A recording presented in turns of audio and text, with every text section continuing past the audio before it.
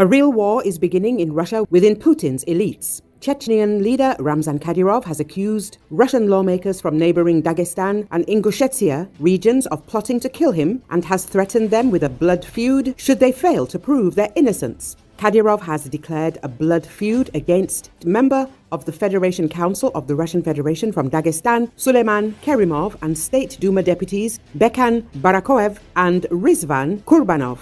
This was reported by the Russian agency publishing a transcript of the translation of the speech of the head of Chechnya, which was made by a native speaker. The statement about blood feud was made during a meeting between Kadyrov and commanders and heads of the Chechen security forces. In a video published on the Chechen leader's Telegram channel, he speaks Chechen. Kadyrov's speech is very confused. There are many unfinished phrases, the translator told Agency. However, one can draw an unambiguous conclusion from the speech that he is declaring a blood feud. Firstly, he talks about the shootout in front of the Wildberries office in Moscow. There was Barakhoev, Bekkhan, there was Kerimov, Suleiman, Kurbanov, Rizvan. They have their own business, which they do not only look from my wife. They ordered to kill me. I am officially speaking. I am officially declaring a blood feud against Barakhoev, and if he does not prove it, and against Suleiman Kerimov, Kurbanov, Rizvan, because I am a Caucasian. I am Chechen. I am bringing my own back home. Kadyrov also called the gathering of the bodies of the Ingush residents killed during the shootout at the Wildberries office in Moscow a rallies and suggested that the dissatisfied declare a blood feud against him. Today in Chechnya, I lead the Kadyrovites. I am speaking officially. Let anyone say. You, Ramzan, I believe that you are guilty of the death. Your relative or your children are guilty, and I declare a blood feud against you. Let them send a person with this.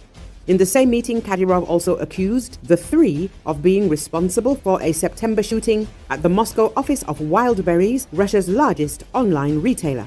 It's the first time the Chechen warlord, a close ally of Russian President Vladimir Putin, has commented on the shooting in which two ethnic Ingush security guards were killed. The crime took place two months after a merger between Wildberries and another private firm, Rus, in a deal that Russian media said was backed by the president's office in Moscow. Kadyrov has never publicly acknowledged that his men were involved in the shootout. támasztani ittiasodon hándos jörgalódos beszak. Csigi havan bóvan, cáki hattocs, cápakolyocs, cámajocs, körhol villó, tegdal, mögtedon, így időszöli, mely háják van villó cigi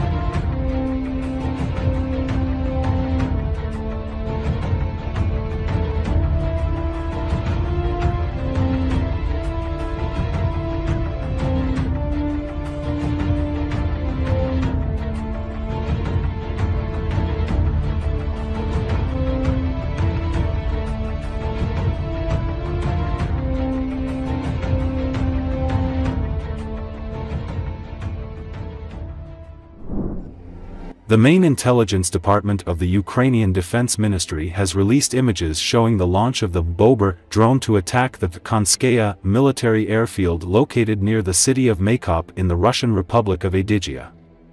An explosion and fire occurred at the airfield as a result of a strike by a Ukrainian-made long-range drone. It should be noted that the incident took place on the night of October 10.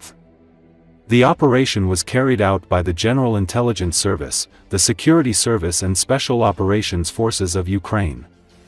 L-39 training aircraft, Su-30, Su-34, Su-35 and MiG-23 fighters are located at the airfield, which is the location of the 272nd Training Aviation Base.